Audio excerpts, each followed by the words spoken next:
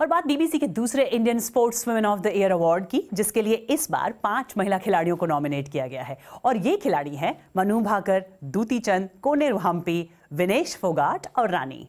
Chess की दुनिया की सबसे मशहूर खिलाड़ियों में से एक हैं भारतीय शतरंज खिलाड़ी कोनेरू हम्पी महज 15 साल की उम्र में ग्रैंड मास्टर बनने वाली सबसे कम उम्र की महिला खिलाड़ी बनकर, ना केवल भारत में, बल्कि पूरी दुनिया में उन्होंने अपना लोहा मनवाया। देखिए बीबीसी संवाददाता वंदना और प्रेम भूमिनाथन की रिपोर्ट। इतनी कम उम्र में ग्रैंड मास्टर बनने के बाद मुझसे लोगों की उम्मीदें बढ़ गई थीं। और एक लड़की होने के नाते मुझे ये भी सुनना पड़ा कि क्या सच में मैं ग्रैंड मास्टर बनने के लायक हूँ।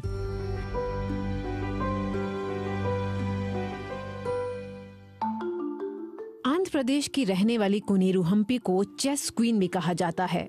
बचपन में ही शुरू हुई उनकी चेस यात्रा का खास रूसी कनेक्शन रहा है। मैंने शुरुआत बहुत पहले कर दी थी जब मैं केवल छह साल की थी। मेरे पिता शतरंज खिलाड़ी हैं। मुझे ट्रेन करने के लिए उन्होंने अपनी लेक्चरर की नौकरी छोड़ दी थी। उनका मकसद मुझे चैंपियन बनाने का था। इसलिए उन्होंने मेरा नाम हम्पी रखा जिसका मतलब है चैंपियन। शतरंज रूसी लोगों का खेल है। उनके नामों में यू वी वाई होता है। तो उन्होंने मेरा नाम भी H U M P Y रख दिया और कहा कि मैं किसी रूसी खिलाड़ी से कम नहीं। वर्ष 2002 में महज 15 साल एक महीने 27 दिनों की उम्र में ही हम्पी उस समय की सबसे कम उम्र की महिला ग्रैंडमास्टर बन गई थी।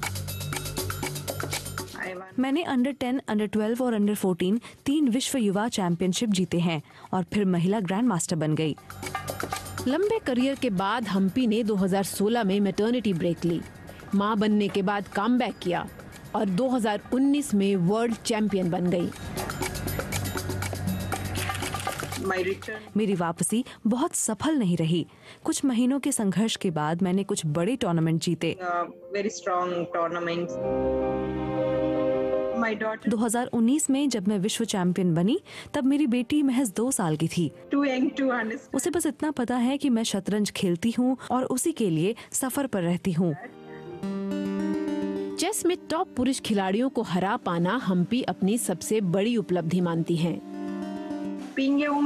एक महिला होने के नाते कई बार स्थिति अलग होती है जब पुरुष खिलाड़ी मेरे खेल की प्रशंसा करते हैं।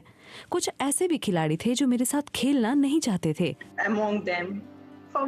मुझे महिलाओं के टूर्नामेंट से ज़्यादा पुरुषों के टूर्नामेंट जीतने में मज़ा आता था। उस वक्त मुझे अपने महिला होने पर गर्व महसूस होता था। बिसात चेस की हो या ज़िंदगी की हम्पी मानती हैं कि हर दांव पूरे दिल से खेलो और कामयाबी ज़रूर मिलेगी। प्रेम भूमिनाथन के साथ वंदना, बीबीसी दिल्ली।